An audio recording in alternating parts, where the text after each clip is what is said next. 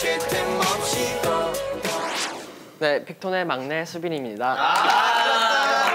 귀여워 귀여워 네. 귀여워. 일단 저는 세준이 형과 같이 게임을 되게 즐겨하는 편이고요. 나쁜 거예요. 같이 곱식이라고 동생한테 있더라고요. 전수를 해줬죠. 나쁜 같이 그리고 동물을 굉장히 좋아해요. 어떤 동물 제일 좋아하나요? 저는 다 좋아합니다. 그 중에서 베스트 들면 어, 예를 들면 뭐 세준이 형이라던가 승식이 형이라던가 어떤 동물 제일 좋아? 어떤 아. 동물 제일 좋아하죠?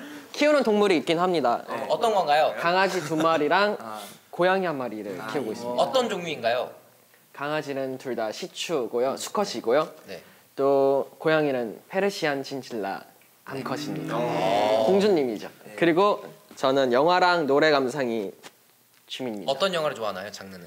어, 액션을 즐겨 보는 편이고요. 개인기 개인기요.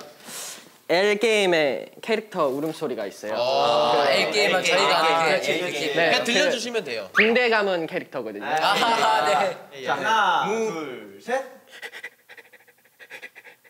웃고 네, 아유 뭐야 나 몰라. 감사합니다. 몰라 몰라. 지금까지 수빈이었습니다. 감사합니다. 끝.